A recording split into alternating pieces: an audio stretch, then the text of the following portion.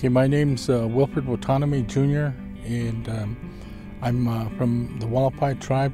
We're located out in uh, northwestern Arizona, a small community called Peach Springs. Population about, uh, I would say, not more than 2,500 people.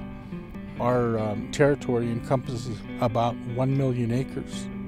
In our ancestors' day, it uh, encompassed about 7, 7 million acres. Right now we're at a location called Grand Canyon West. Grand Canyon West is located about 120 miles east of Las Vegas, and uh, we have a, a tourism uh, enterprise out here. And we have the Skywalk, which is located at Eagle Point. The Skywalk is located at Eagle Point within Grand Canyon West, been open for four years.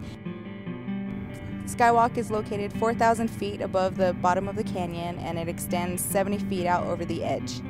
It's a bridge with a glass bottom so you can see straight down into the canyon. You know, it's got glass walls so you can see out uh, with no obstruction to your view.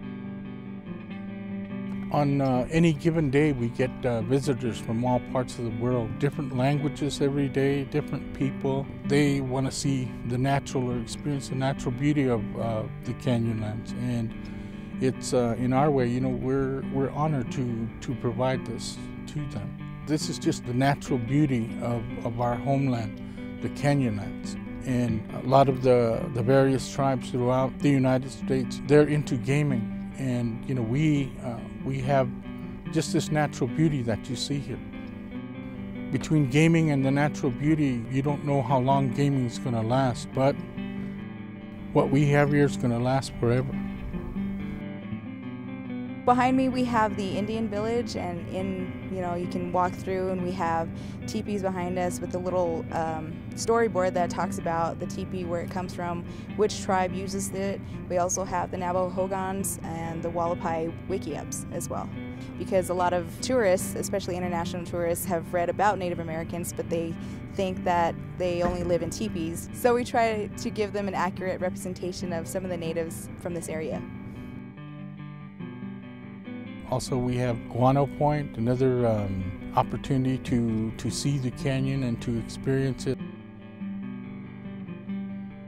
But also, we have uh, the ranch, which has um, the Western experience, where you can ride horseback, you can do wagon rides, you can play, you know, different games or experience part of the, the Wild West.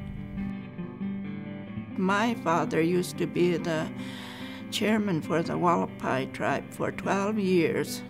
He used to talk about what was going to happen there at the canyon, which is Grand Canyon West now. He said that one day this place is going to be something. We don't know what, but it's going to be something someday in the future. We're not going to be here to see it. We're going to be gone, but our children our our future children. They're the ones that are gonna see it. It's something that I never never thought would happen, but it always reminds me of uh, the old old people. You know, the ones that saw that coming way back. You know. Um, my name is Erlene Haviton, and I am the general manager for the Hualapai River Runners. I've been with Hualapai River Runners for 11 years now.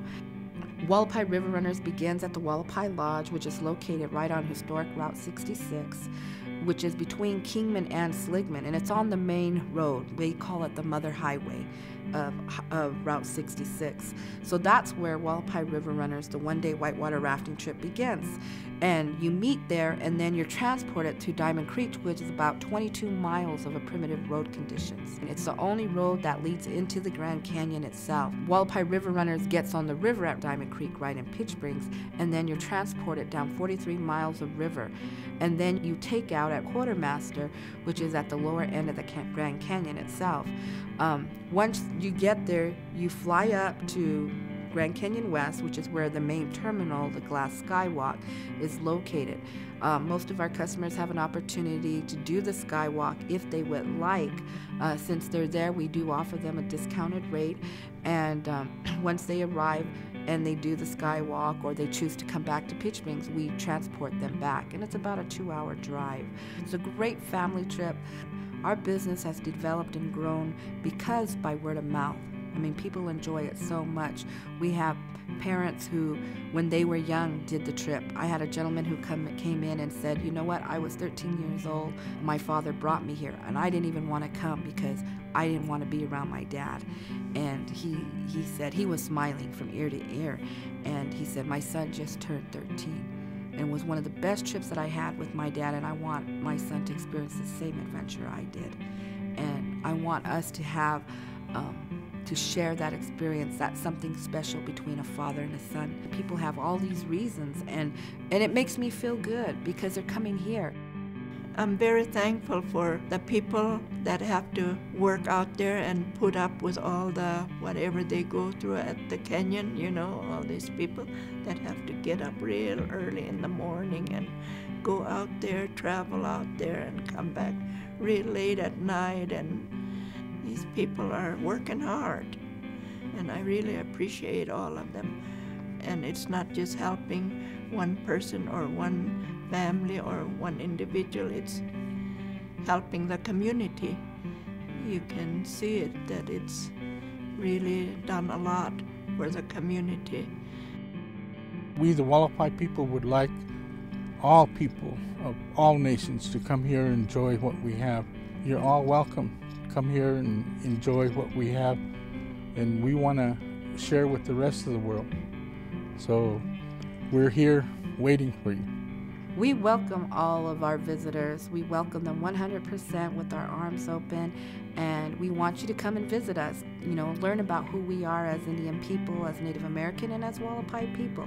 Our doors are always open, and you'll always find a friendly face.